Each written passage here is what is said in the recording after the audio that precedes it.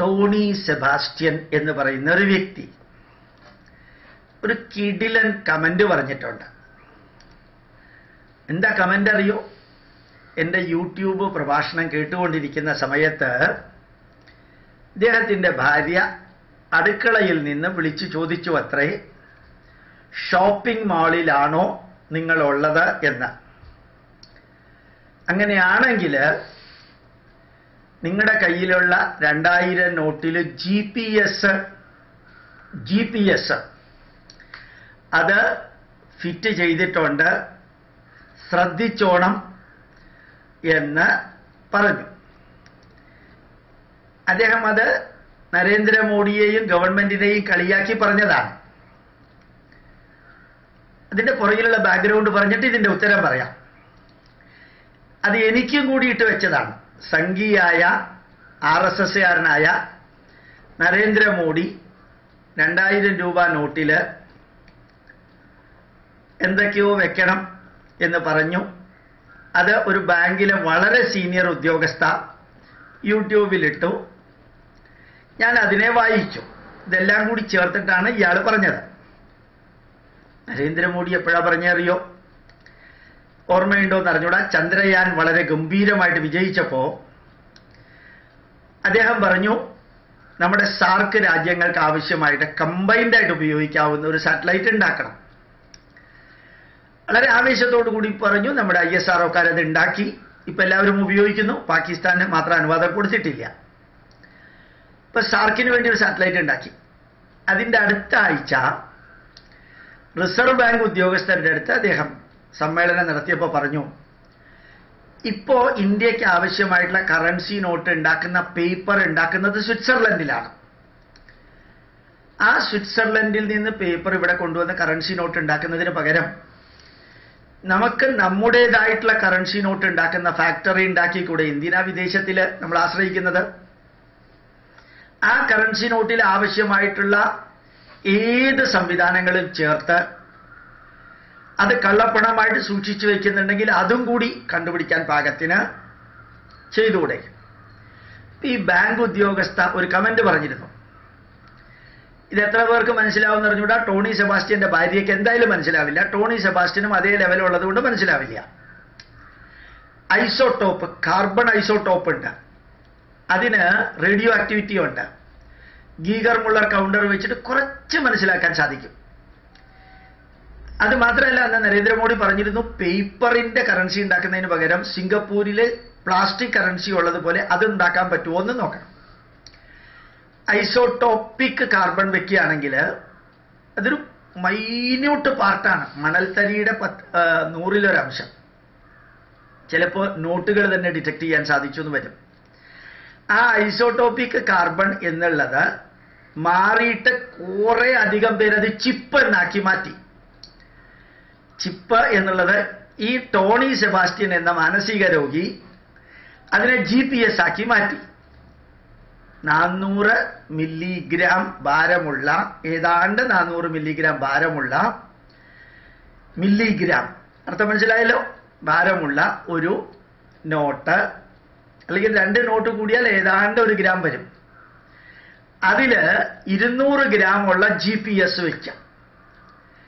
ഇപ്പൊ ഈ അമ്മച്ചി ടോണി സെബാസ്റ്റ്യനോട് ചോദിച്ചത് ഞാൻ പറഞ്ഞതിനെ മോഡി പറഞ്ഞതിനെ കളിയാക്കിക്കൊണ്ട് അവഹേളിച്ചുകൊണ്ട് ആണ് ഈ രണ്ടായിരം നോട്ടിൽ ജി പി എസ് ഉണ്ട് ഷോപ്പിംഗ് മാളിൽ പോകുമ്പോൾ ശ്രദ്ധിക്കണമെന്ന് നരേന്ദ്രമോദി എന്ന സംഘി പറഞ്ഞത് ഡോക്ടർ ഗോപാലകൃഷ്ണൻ പ്രചരിപ്പിക്കുന്നുണ്ട് എന്ന അർത്ഥത്തിൽ ഇനി നമുക്ക് വിഷയത്തിലേക്ക് വരാം. ഈ ബാക്ക്ഗ്രൗണ്ട് പറഞ്ഞില്ലെങ്കിൽ തൊണ്ണൂറ് ശതമാനം ആൾക്കാരും ടോണി സെബാസ്റ്റ്യന്റെ ഭാര്യ അടുക്കളയിൽ നിന്നുകൊണ്ട് വിളിച്ചു പറഞ്ഞിട്ടുണ്ടല്ലോ. ഷോപ്പിംഗ് മാളിലാണ് രണ്ടായിരത്തിന്റെ നോട്ടിൽ ജി പി എസ് ഉള്ളത് ശ്രദ്ധിക്കണമെന്ന് പറഞ്ഞിട്ടുണ്ട്. അപ്പൊ ഗോപാലകൃഷ്ണനെ വെക്കാൻ പറഞ്ഞതാണ്. ഇനി ടോണി സെബാസ്റ്റ്യനോടും അതുപോലെ തന്നെ അയാളുടെ ഭാര്യയോടും കൂടി ഈ കമന്റിനൊരു ഉത്തരം ഞാൻ പറയാം. നിങ്ങൾക്കറിയോ ടോണി സെബാസ്റ്റ്യ? ഈ വർഷത്തെ ക്രിസ്തുമസ് വരുന്നത് ചൊവ്വാഴ്ചയാണ്. ഇരുപത്തിരണ്ട് ശനിയാഴ്ച ഇരുപത്തിമൂന്ന് ഞായറാഴ്ച ഇരുപത്തിനാല് തിങ്കളാഴ്ച ഇരുപത്തഞ്ച് ഇരുപത്തിനാല് ഹോളിഡേ ഇരുപത്തഞ്ച് ഹോളിഡേ നാല് ഹോളിഡേ ഉണ്ട്. ഈ നാല് ഹോളിഡേയിൽ നിങ്ങളും ഭാര്യയും കൂടി ഭാരതത്തിൽ എവിടേക്കെങ്കിലും പോവുകയാണെങ്കിൽ ഈ ജി പി എസ് വെച്ച രണ്ടായിരത്തിന്റെ നോട്ടും കൊണ്ടുപോയിട്ട് ഒരിക്കലും ജലന്ധറിൽ പോവരുത് കേട്ടോ. കാരണം ജലന്ധറിൽ ഫാദർ ആവാൻ യോഗ്യതയുള്ള ഫാദർ ബിഷപ്പ് ഫ്രാങ്കോ ഉണ്ട്. നിങ്ങൾ ഭാര്യയുമായിട്ട് പോയാൽ പ്രശ്നമാണ്. അതിൽ ജി പി എസ് ഉള്ള രണ്ടായിരത്തിന്റെ നോട്ടുമായിട്ട് പോയാൽ അതിനേക്കാളും പ്രശ്നമാണ്. അതൊന്ന്. ഇനി രണ്ട്. ഈ രണ്ടായിരത്തിന്റെ നോട്ടിൽ ജി പി എസ് ഉണ്ടല്ലോ. നമ്മുടെ ആർച്ച് ബിഷപ്പ് ആർച്ച് ബിഷപ്പ് എന്ന് പറഞ്ഞാൽ വളഞ്ഞ ബിഷപ്പ് കർദിനാൾ ആലഞ്ചേരി അൻപത് ലക്ഷം വരുന്ന കത്തോലിക്കരോട് പറഞ്ഞിട്ടുണ്ട്. എന്താ പറയുക കൈ അയഞ്ഞ് സംഭാവന ചെയ്യാൻ കൈ അയച്ച് സംഭാവന ചെയ്യാൻ പള്ളിയിലേക്ക്. ഈ വെള്ളം പൊങ്ങിയപ്പോ നൂറ് കോടി മുങ്ങിയതും മുങ്ങി. അർത്ഥം മനസ്സിലായല്ലോ? പ്രളയം വന്നപ്പോ നൂറ് കോടി മുക്കിയതും മുങ്ങി. ആ നൂറ് കോടി മുക്കിയതിനെ ഒന്ന് പൊക്കാൻ ആണ് സംഭാവന തരണമെന്ന് പറഞ്ഞത്. ടോണി സെബാസ്റ്റ്യൻ കമന്റ് എഴുതിയ മലയാള ഭാഷ പെർഫെക്റ്റ് ആണ്. ആ ഭാഷാ പ്രയോഗം ഉള്ളത് കൊണ്ട് ഒരുപക്ഷെ ടോണി സെബാസ്റ്റ്യൻ ചിലപ്പോൾ ഓർത്തഡോക്സ് സഭയിൽ അംഗമാവാനാണ് സാധ്യത. ഓർത്തഡോക്സ് എന്നുള്ളതിന്റെ അർത്ഥം അറിയാലോ. ഈ ജി പി എസ് ഉള്ള രണ്ടായിരത്തിന്റെ നോട്ട് കർദിനാൾ ആർച്ച് ബിഷപ്പിന് കൊടുക്കല്ലേ? അത് അങ്ങേര് കൊണ്ടുപോയിട്ട് മുക്കിയ നൂറ് കോടിയുടെ കൂട്ടത്തിൽ വെച്ചാൽ നൂറ് കോടിയും ചിലപ്പോൾ പുറത്തേക്ക് വന്നു എന്ന് വരും. കുഞ്ഞാടുകൾ ചിലപ്പോൾ അറിഞ്ഞു എന്ന് വരും. ശ്രദ്ധിക്കണം. അത് ചെയ്യരുത്. ഇനി മൂന്ന്. കുട്ടനാട്ടിലെ ഒരു അച്ഛൻ ലോഹയോടുകൂടി പോലീസ് സ്റ്റേഷനിൽ പോയത് നിങ്ങൾ പത്രത്തിൽ കണ്ടതാണല്ലോ. പാവങ്ങളുടെ പേരിൽ ലോൺ എടുത്ത് അച്ഛൻ മുക്കി. ഇനി ആ അച്ഛനെ പോലീസ് സ്റ്റേഷനിൽ നിന്ന് പുറത്തേക്ക് കൊണ്ടുവരാൻ പോലീസ് സ്റ്റേഷനിലെങ്ങാനും ടോണി സെബാസ്റ്റ്യൻ പോവുകയാണെങ്കിൽ ഈ ജി പി എസ് ഫിറ്റ് ചെയ്ത രണ്ടായിരത്തിന്റെ നോട്ട് പോലീസുകാർക്ക് കൊടുക്കല്ലേ? അച്ഛനെതിരെ എഫ് ഐ ആർ എഴുതിക്കുന്നതിന്റെ ഇന്റൻസിറ്റി കുറയ്ക്കാൻ പോലീസുകാർക്ക് കൈക്കൂലി കൊടുക്കാൻ ജി പി എസ് ഉള്ള രണ്ടായിരം നോട്ട് ഉപയോഗിച്ചാൽ പോലീസുകാരും കുടുങ്ങും. അതുകൊണ്ട് ടോണി സെബാസ്റ്റ്യൻ ശ്രദ്ധിക്കണം കേട്ടോ. പിന്നെ ടോണി സെബാസ്റ്റ്യന് ഭാര്യ പറഞ്ഞതുപോലെ ഭാര്യ പറഞ്ഞത് നോക്കണം വളരെ ശ്രദ്ധിക്കണം. നമ്മളുടെ രാമായണം എന്ന് പറയുന്ന ഒരു ഗ്രന്ഥത്തിൽ ഒരു പ്രത്യേകതയുണ്ട്. നല്ല മനുഷ്യർക്ക് ഭാര്യമാര് പറഞ്ഞത് കേട്ട് പ്രവർത്തിച്ചാൽ ചിലപ്പോൾ അബദ്ധം പറ്റും. രാക്ഷസന്മാർക്ക് ഭാര്യമാര് പറയുന്നത് കേട്ട് പ്രവർത്തിച്ചാൽ നല്ലതേ വരുള്ളൂ. ഞാനിപ്പോൾ പറഞ്ഞത് കുറച്ച് കൺഫ്യൂസ്ഡ് ആയിട്ടുണ്ടാവും. സീതാദേവി മാരീജന്മാനിനെ വേണമെന്ന് പറഞ്ഞ് രാമനോട് പറഞ്ഞു. രാമൻ അതനുസരിച്ചു. രാമന്റെയും സീതയുടെയും ജീവിതം കൊളായി. മണ്ടോദരി രാവണനോട് പറഞ്ഞു രാക്ഷസകുലത്തിൽ ജനിച്ചവര് സീതയെ കട്ടുകൊണ്ട് വരണ്ട കൊടുത്തേക്കാൻ പറഞ്ഞു. ഭാര്യ പറഞ്ഞത് രാവണൻ കേട്ടില്ല. അതോടുകൂടി രാവണന്റെ അന്ത്യം. ഏതായാലും ആ കാറ്റഗറിയിൽ പെടുന്ന ടോണി സെബാസ്റ്റ്യന്റെ ഭാര്യ പറഞ്ഞത് ടോണി സെബാസ്റ്റ്യൻ കേൾക്കണം ഇല്ലെങ്കിൽ കൊളാവും ജീവിതം. രാവണൻ കേൾക്കാത്തത് കൊണ്ട് രാവണന്റെ ജീവിതം കൊളായി. മണ്ടോദരി പറഞ്ഞത് കേൾക്കാത്തത് കൊണ്ടാണ് അങ്ങയുടെ ഭാര്യ ടോണി സെബാസ്റ്റ്യനോട് പറഞ്ഞത് കേൾക്കണം. അപ്പൊ ആ ജി പി എസ് വെച്ച രണ്ടായിരത്തിന്റെ നോട്ട് കൊടുക്കാൻ പറ്റിയ ഒരു സ്ഥലവും കൂടി അത് മാ ഷോപ്പിംഗ് മാളല്ല. വയനാട്ടിൽ മുപ്പത്തൊമ്പത് ഏക്കർ മുക്കിയ ഒരു അച്ഛനുണ്ട്.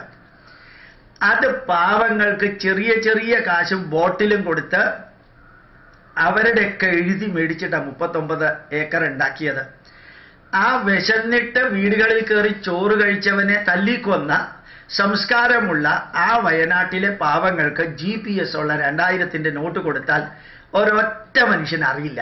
കാരണം അവർക്ക് ഈ ജി പി എസ് എന്താണെന്ന് അറിഞ്ഞുകൂടാ ടോണി സെബാസ്റ്റ്യൻ. ഇപ്പം നാല് ഓപ്ഷനിൽ ഈ ജി പി എസ് ഉള്ള രണ്ടായിരം നോട്ട് ജലന്ധറിലേക്ക് കൊണ്ടുപോവല്ലേ? രണ്ട് ആർച്ച് ബിഷപ്പിന് സംഭാവന കൊടുക്കല്ലേ? മൂന്ന് കുട്ടനാട്ടിലെ അച്ഛന് ജാമ്യം കിട്ടാനായിട്ട് പോലീസ് സ്റ്റേഷനിൽ ജി പി എസ് ഉള്ള രണ്ടായിരം നോട്ട് കൈക്കൂലി കൊടുക്കല്ലേ? പറ്റിയത് വയനാട്ടിൽ പാവങ്ങൾക്ക് കൊടുക്കലാണ് അവർക്ക് ജി പി എസ് എന്ന് പറയുന്ന ഇരുന്നൂറ് ഗ്രാം ഭാരമുള്ള ഒരു സാധനം നാൽനൂറ് മില്ലിഗ്രാം ഭാരമുള്ള നോട്ടിൽ വെച്ചത് അവർക്ക് അറിയാൻ പറ്റിയെന്ന് വരില്ല.